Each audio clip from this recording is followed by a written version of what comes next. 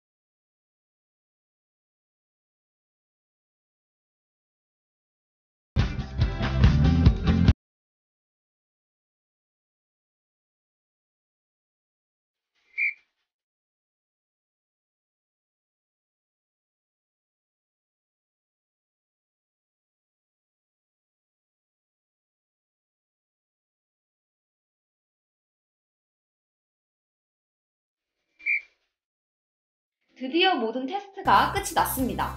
각 3회씩 측정한 평균값을 적었고 시간이니까 수치가 낮을수록 빠른 거겠죠? 데이터를 정리하면서 저도 좀 놀랐는데요. 개인적으로 아이폰 10이 전체적으로 압승을 하지 않을까 이렇게 생각을 했었는데 앱에 따라서 아이폰 10이 이기기도 하고 아이폰 8 플러스가 이기기도 하고 또 어쩔 때는 7 플러스가 제일 빠르기도 합니다. 생각해보면 매년 아이폰 출시 행사에서 30%더 빨라진 프로세서, 새로운 3D 엔진 탑재, 이렇게 하드웨어 강조를 엄청나게 하고 벤치마크 결과도 숫자로 차이가 많이 나타나는데 사실 여러분 특히 아이폰은 꼭 제일 비싼 최신 기기를 살 필요가 없어요. 안드로이드와 달리 iOS는 제가 정말 너무 예뻐서 아직까지 가지고 있는 이 아이폰 5도 얼마 전에 10.4로 업데이트 했을 정도로 OS 업그레이드 지원이 꾸준히 잘 되는 편이고 또 앱의 최적화가 너무 잘 돼 있어서 아주 무거운 몇몇 게임을 제외하면 개인이 속도 차이를 느끼는 일은 거의 없다고 봐도 좋을 것 같습니다. 그래서 제 생각에 속도 때문에 아이폰 7은 지금 살 수 없고 아이폰 8이나 10을 꼭 사야 된다. 이런 생각은 안 하셔도 될 것 같아요. 오히려 성능과 가격 둘 다 고려했을 때 1년 전 모델이 가장 합리적인 선택이 될 수도 있을 것 같습니다.